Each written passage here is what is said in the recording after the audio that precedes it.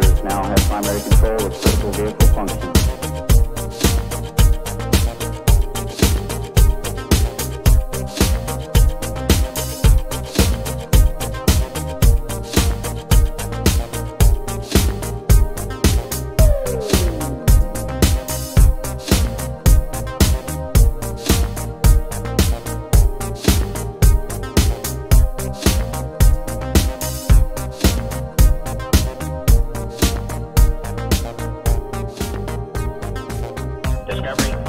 level.